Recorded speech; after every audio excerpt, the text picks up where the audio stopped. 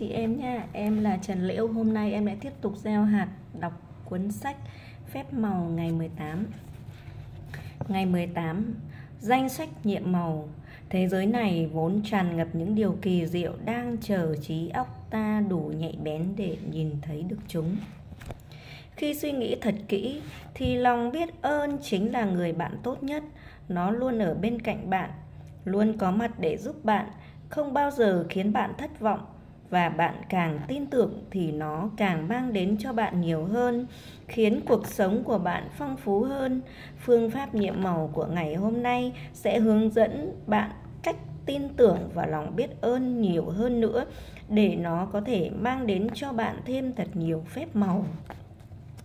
Mỗi ngày đều có một số vấn đề nhỏ nhặt xuất hiện trong cuộc trong cuộc sống và cần được giải quyết đôi khi chúng ta cảm thấy choáng ngợp nếu không biết cách giải quyết chúng có thể vấn đề của bạn là không có đủ thời gian để làm những việc cần thiết và bạn cảm thấy mình bỏ lỡ nhiều thứ vì mỗi ngày chỉ có 24 giờ.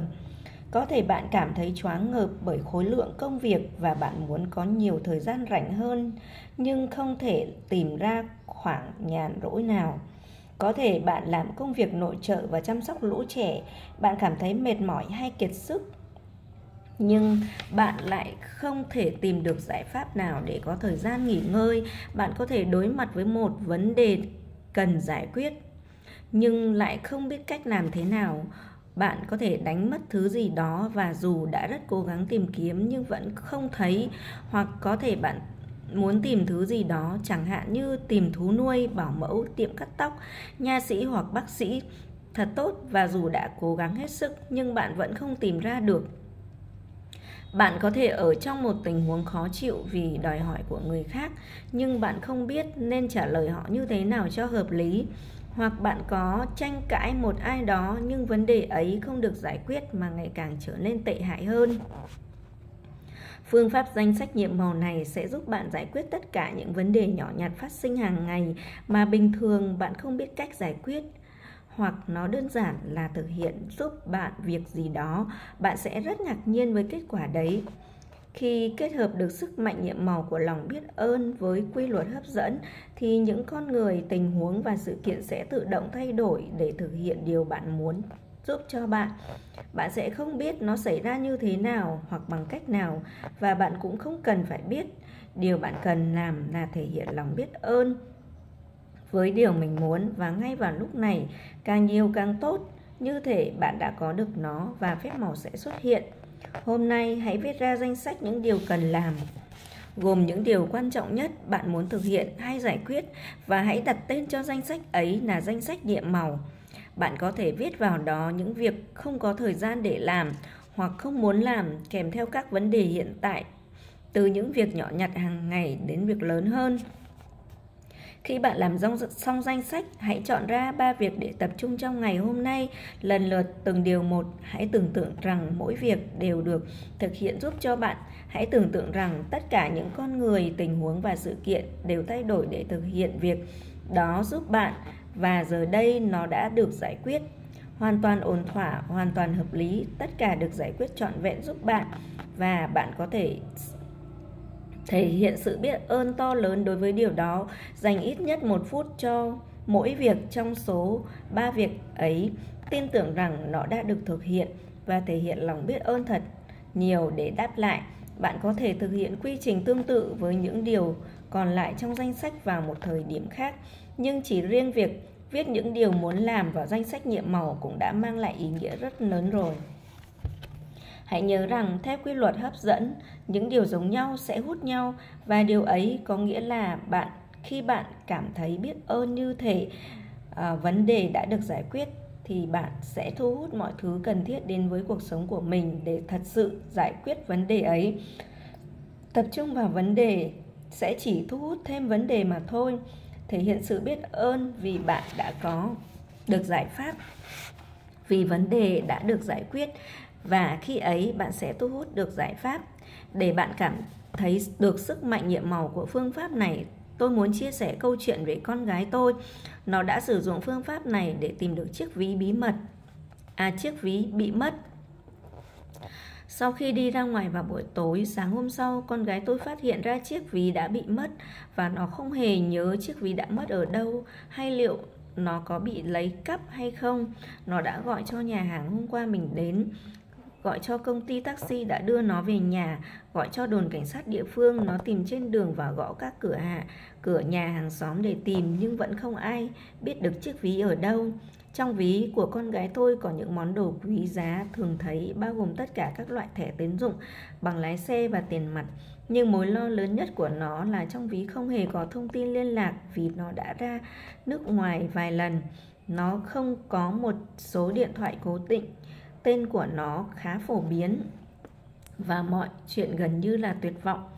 Nhưng mặc cho Khó khăn này dường như không thể giải quyết. Con gái tôi đã ngồi xuống, nhắm mắt lại và hình dung ra chiếc ví ấy trong tâm trí nó. Nó hình dung ra việc mình cầm chiếc ví trên tay, Mở nó ra, kiểm tra lại tất cả những món đồ trong ấy. Và nó cảm thấy biết ơn vô cùng vì đã tìm thấy chiếc ví. Mọi món đồ trong đó cũng còn nguyên vẹn trong tay nó. Suốt ngày hôm đó, bất cứ khi nào Nghĩ đến chiếc ví, con gái tôi lại tưởng tượng cảnh mình đang cầm nó trên tay và thể hiện lòng biết ơn to lớn vì chiếc ví đã quay trở về với nó. Vào đêm muộn hôm đó, nó nhận được cuộc điện thoại từ một người nông dân sống cách sống cách đó hàng trăm dặm. Người này nói rằng đã tìm thấy chiếc ví của nó. Điểm phi thường ở đây là người nông dân này đã tìm thấy chiếc ví trên đường ngay trước nhà con gái tôi vào buổi sáng sớm và ông ấy ngay lập tức xem qua chiếc ví để tìm thông tin liên lạc. Ông đã gọi đến một số nơi cố gắng xác định chủ nhân của nó nhưng không hề có manh mối gì nên ông đã từ bỏ và lái xe trở về trang trại cùng với chiếc ví. Thế nhưng khi đang đi đang đi ra đồng, ông cứ nghĩ mãi về việc chiếc ví không thôi và thế là ông quyết định tìm kiếm chủ nhân của nó một lần cuối cùng nữa. Ông ấy đã tìm thấy một mẫu giấy nhỏ có ghi tên thánh của ai đó, vậy là ông đã gọi cho trung tâm danh bạ điện thoại và cung cấp cho họ tên thánh ấy, cùng với tên của con gái tôi. Và họ chỉ tìm thấy một kết quả trùng khớp với cái tên và tên thánh ấy.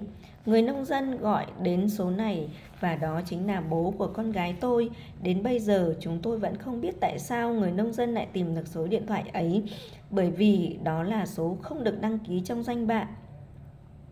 Sau sự kiện này, chúng tôi đã tự mình gọi đến trung tâm danh bạ điện thoại và câu trả lời ờ, luôn là xin lỗi nhưng chúng tôi không tìm thấy kết quả nào trùng khớp. Từ từ từ từ cách đó hàng trăm dặm thông qua một chuỗi sự việc phi thường thường tưởng như không thể xảy ra, chiếc ví đã trở lại với con gái tôi, hoàn toàn nguyên vẹn. Con gái tôi đã thực hiện công việc của mình bằng cách thể hiện lòng biết ơn đối với chiếc ví được trả lại. Và việc gì xảy ra đã xảy ra, lòng biết ơn đã tạo ra phép màu, thay đổi những con người, tình huống và sự kiện mang đến chiếc ví trở về với con gái tôi. Sức mạnh nhiệm màu của lòng biết ơn luôn tồn tại và chờ đợi bạn sử dụng. Từ trước đến nay vẫn vậy, bạn chỉ cần tự mình khám phá và học hỏi cách sử dụng nó. Thực thi phương pháp nhiệm màu số 18, danh sách nhiệm màu. 1. Cảm thấy mình thật hạnh phúc, viết ra danh sách 10 điều hạnh phúc, viết lý do tại sao bạn cảm thấy biết ơn, đọc lại danh sách và với mỗi điều hạnh phúc hãy nói cảm ơn, cảm ơn, cảm ơn và cảm thấy biết ơn đối với điều đó. 2. Hãy viết ra danh sách những điều quan trọng nhất bạn muốn thực hiện hay giải quyết, đặt tên cho danh sách ấy là danh sách nhiệm màu. 3. Chọn ra 3 việc quan trọng nhất để tập trung lần lượt tưởng tượng mỗi việc được thực hiện giúp cho bạn. 4. Dành ít nhất 1 phút cho mỗi việc tin tưởng rằng nó đã được thực hiện và thể hiện lòng biết ơn thật nhiều để đáp lại 5. Trước khi đi ngủ, hãy cầm hòn đá nhiệm màu trong tay và nói từ nhiệm màu cảm ơn vì điều tốt đẹp nhất xảy ra trong ngày hôm đó. Như vậy là chúng ta đã kết thúc ngày 18 nha. À, xin trân trọng cảm ơn tất cả các anh chị em đã cùng đồng hành với em điệu tới ngày hôm nay.